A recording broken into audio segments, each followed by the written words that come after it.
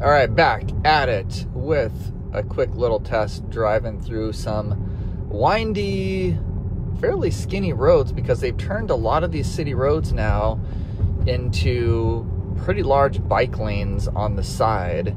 And I'm all for biking and making sure there's bike lanes, but I don't think we need these huge bike lanes that have cones and it just makes the actual driving lane a bit smaller. But full self drive so far has been able to handle that just quite well. Uh, now we have a left turn here against a steady flow of traffic. And if I zoom out there, the traffic actually um, has a, a, turn. So you don't have a ton of visibility into where they're coming from.